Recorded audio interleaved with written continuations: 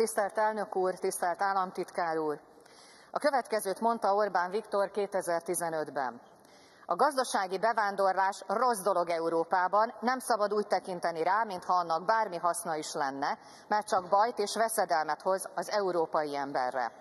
Ezzel a kormányfő kétszeresen is hazudott. Egyrészt nem igaz, hogy a gazdasági bevándorlásnak nincs haszna.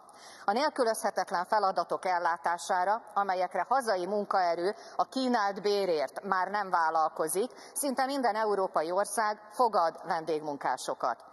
Másrészt az elmúlt két évben 150 ezer kelet- és dél-ázsiai vendégmunkás érkezett hozzánk, de nem a nélkülözhetetlen feladatok ellátására, hanem hogy azokban az összeszerelő üzemekben, akkumulátorgyárakban dolgozzanak, amelyektől önök a gazdaság föllendülését várják.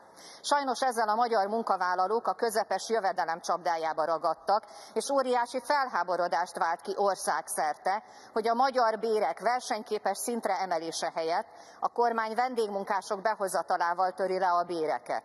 Egyre kevésbé fogadják el a helyi közösségek, hogy sorra nőnek ki a földből a vendégmunkások elszállásolására szánt épületek, ráadásul az adott közösség véleményének meghallgatása nélkül. Miskolcon is zajlik ez a folyamat. Az elmúlt időszakban több milliárdos betanított munkán alapuló beruházást jelentett be Szijjártó Péter. Mivel a miskolci munkaerőpiacon már most sem találni erre vállalkozó munkaerőt, így ezek a cégek már most is foglalkoztatnak nálunk ázsiai vendégmunkásokat. Tudomásunk szerint a város két részén is épülnek ilyen munkásszállások. Kérdezem tehát államtitkár urat, hány ezer ázsiai vendégmunkást akar a kormány Miskolcra telepíteni, hány munkásszállót akarnak ehhez építeni, és mely városrészeket jelölték ki erre a célra. Köszönöm szépen. Köszönöm, parancsolja. Köszönöm a szót, tisztelt elnök úr, tisztelt eh, képviselőház, tisztelt képviselő asszony. Azt a politikai bravúrt eh, sikerült végrehajtani, hogy az ön felszólalásának egyetlen pontja sem volt tényszerűen igaz, mindegyik megfogalmazott állítása hamis volt.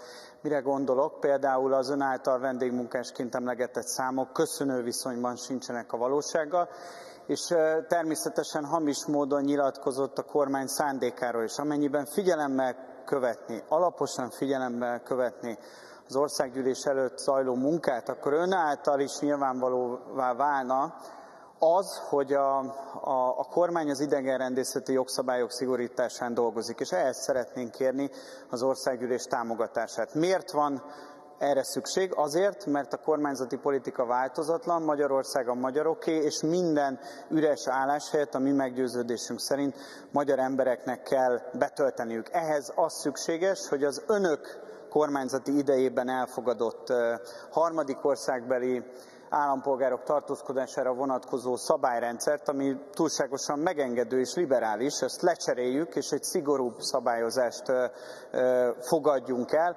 amelynek keretében mindenki ellenőrizhető módon pontosan annyi ideig és pontosan olyan szigorú keretek között tartózkodik Magyarországon, amennyire szükséges. Amennyiben munkavállalási célú tartózkodásról van szó, akkor csak olyan álláshely esetében lehet Magyarországon tartózkodni, amely álláshelyet magyarok nem kívánják betölteni.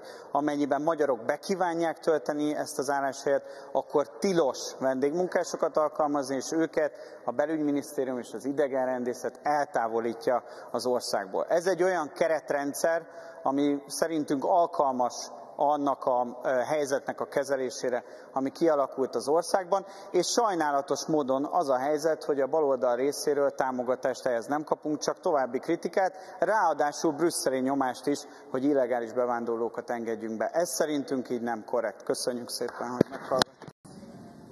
Államtitkár úr, Makón én úgy, úgy gondolom, hogy és úgy tudom, hogy más a helyzet, de maradjunk Miskolcon, gondolom, mert nem járt mostanában Miskolcon. Államtitkár úr, a tőkének a profit a lényeg. Ahol képzett munkaerőt talál, oda viszi a nagy nyerességű, magas hozzáadott értéket termelő ágazatokat, máshová, máshol pedig maradnak ugye az összeszerelő üzemek. Amíg önök a felsőfokú oktatás helyett a szakképzést erőltetik, amíg a 34 év alattiak között nálunk a harmadik legalacsonyabb a diplomások aránya, az EU-ban, addig kár jobbat remélni. A miniszterelnök szerint nem tudás, hanem munka alapú társadalmat építünk, csak hogy ez így inkább, ez segédmunka alapú. Ezért szakadunk le a versenytársainktól, ezért van már csak Bulgária mögöttünk a bérek tekintetében, és ezért nem jut Miskolcnak sem más, csak összeszerelő üzem, és ezért kell még abba is Ázsiából importálni a munkaerőt. Köszönöm szépen a megtisztelő figyelmet! Köszönöm szépen.